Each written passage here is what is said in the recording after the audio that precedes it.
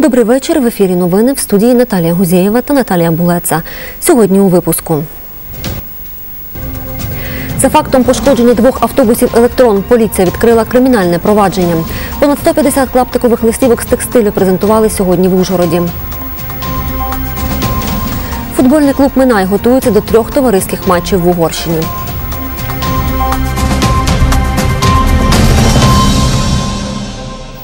За фактом пошкодження двох автобусів електрон поліція відкрила кримінальне провадження. Про це повідомила речниця Нацполіції в області Наталія Машіко. За словами директора комунального підприємства Ужгородський муніципальний транспорт Віталія Готри, нові автобуси закупили у 2019 році. Детальніше розкаже Андрій Андрусяк. На відео з камери спостереження Ужгородського АТП видно, як невідома людина перелізла через паркан стоянки, розбила скло на двох автобусах і втекла. Випадок стався 11 січня близько 20.00. Поруч з пошкодженими електронами каміння, яким розбили скло, а біля паркану сліди, розповідає директор комунального підприємства Ужгородський муніципальний транспорт Віталій Готра. Територія АТП є величезна. Так ми е, оренда цієї площадки, на якій ми знаходимося зараз. У нас є договір оренди. Відповідно, вона забезпечена як відеонаглядом, так і охоронцями, які здійснюють постійний обхід по території цілодобово. І відповідно, ну е, на камері зафіксовано це все зайняло близько 15-20 секунд. Людина вичекала час між тим, як водії відійшли від автобусів, підбігла, кинула камінь і втекла. На місце події приїхала слідчо-оперативна група, розповідає речниця Нацполіції Закарпаття Наталія Машіко. Зараз поліція встановлює особу чоловіка е, та вживає всіх заходів на її затримання.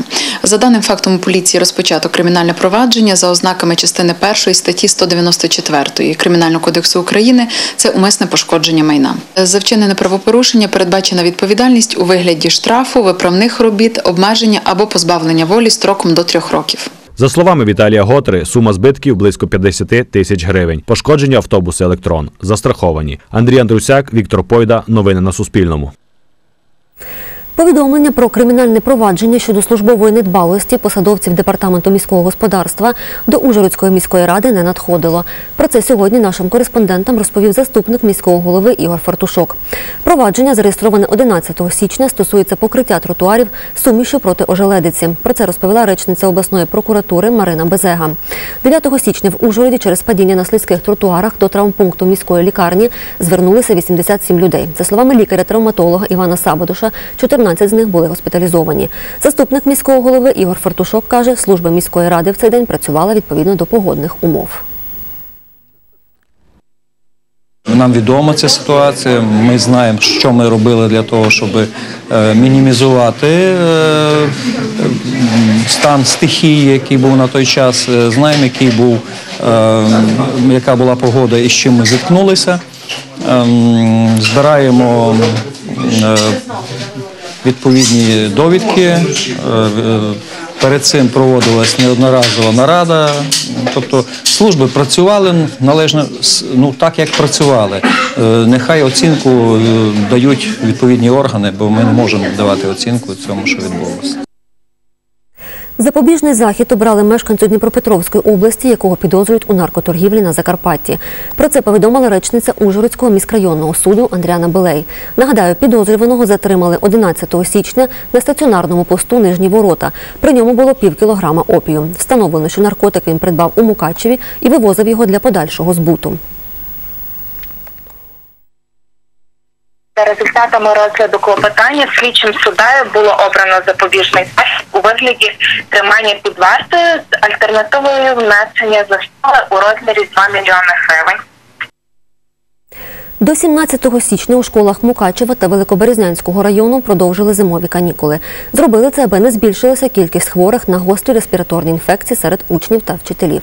Інформацію підтвердила головна епідеміологиня Закарпаття Вікторія Тимчик. Рішенням органів місцевого самоврядування з метою попередження зростання захворюваності серед дитячого населення продовжено канікулярний період до 17 січня. Навчання призупинено е, не із-за перевищення порогів або великої кількості звернень, а саме е, із-за того, щоб не скажімо так, попередити е, ускладнення епідемічної ситуації. Інформація по Великоберезнянському району. Там захворіло всього 44 людини. Звернулося за медичною допомогою.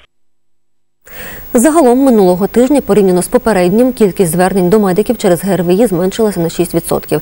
Епідемічні пороги ніде в області не перевищені. Найбільше захворілих в п'яти районах – Ужгородському, Мукачівському, Хуському, Іршавському та Великоберезнянському, а також у Мукачеві.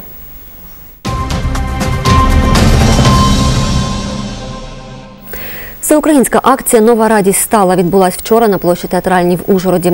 О 12.15 учасники заходу по всій Україні одночасно виконували колядку Нова радість стала. За словами організаторки заходу в Ужгороді Ганни Другальчук, обласний центр вдруге долучається до спільного виконання колядки.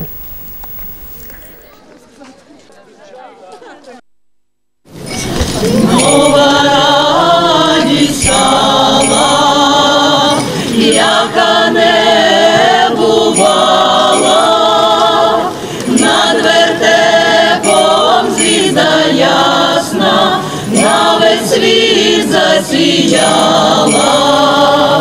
У минулому році ми долучили до цієї акції народний аматорський хор Астра Ужгородського центру культури і дозвілля. Ну а в цьому році долучилися самі. Ця акція має те підґрунтя, щоб не забувалися народні традиції, звичаї, обряди, щоб ця колядка об'єднала всю Україну і колядує не лише Україна, кол- колядують також українці Латинської Америки, українці Канади, е, Сполучених Штатів Америки і також Європи, тому що ми знаємо, що нашого люду є по всьому світу.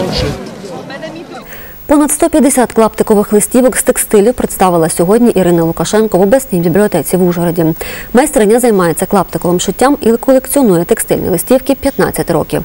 Більше в сюжеті Оксани Ушакової. Над цією листівкою у техніці печворк майстриня Ірина Лукашенко працювала понад 5 годин. Розповідає про етапи виготовлення. Це пофарбована тканина е, натуральними красителями. Тобто це е, спочатку фарбується тканина, потім я відбила фарбою, е, просто ліст від- відштампувала, потім ще строчка, потім бісер. Тут дуже багато всього.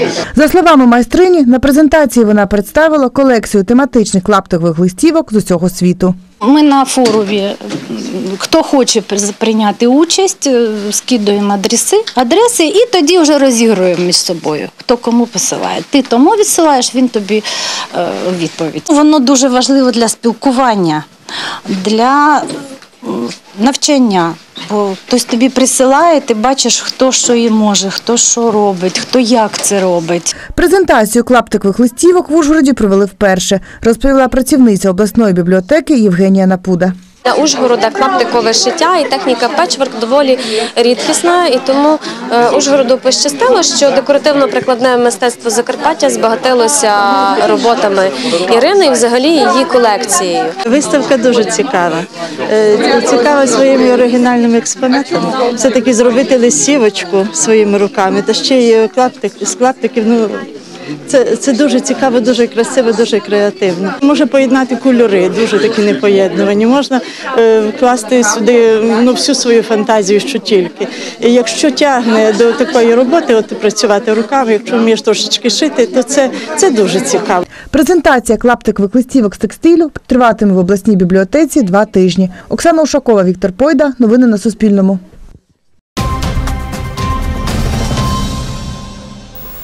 Футбольний клуб Минай готується до трьох товариських матчів в Угорщині. Вони відбудуться цього тижня. Про це сьогодні розповів головний тренер команди Василь Кобін. Після відпустки футболісти проводять перший тренувальний збір. Як відбувається підготовка, розкаже Андріана Курта. Стадіон «Авангард» в Ужгороді. Тут футболісти Минаю почали тренувальний збір під час підготовки до другої частини першої ліги. Гравці вийшли на поле після місячної відпустки. Ну, в целом, э, когда собрались, все. У цілому, коли всі зібралися, поділилися враженнями від відпустки. Всі її провели чудово. В основному зараз у нас бігова робота. Ми вперше вийшли зараз, відчули м'яч. Важкі тренування, але думаю, до гри в Угорщині будемо готові на 100%. Півзахисник Вадим Страшкавич сьогодні на полі не тренується через травмовану п'яту. Були перших пару нагрузочних днів. Вчора прийшли на синтетику і чуть відчув дискомфорт. І сьогодні пауза. А завтра вже думаю, знову приступлю до роботи. Ну, Після відпустки сил відновлювати не треба, їх багато. Просто треба втягнутися в ритм і працювати, і не зупинятися, готуватися до сезону. Ну зараз тільки є е, три футболісти, які дістали ну, деякі ускладнення від навантажень. Тобто вони займаються індивідуально.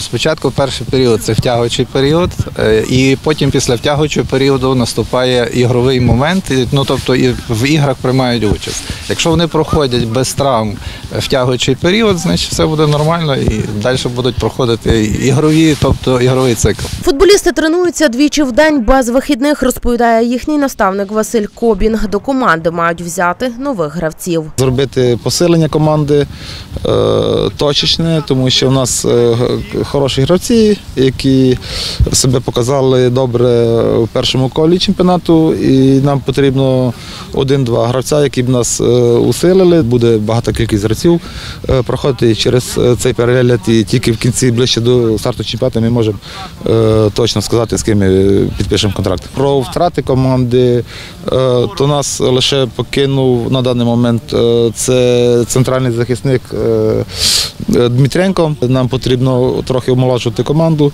Тренувальний збір команди буде тривати місяць і 20 днів. Перші товариські матчі у 2020-му відбудуться в Угорщині цього тижня. 15 січня з Казінбарцикою біля Мішкольця, 17-го в Кішверді з Вардою, 18-го з Дебреценом. Загалом Минай проведе чотири товариські гри на виїзді та дві вдома. Андріана Курта, Андрій Гісем. Новини на Суспільному.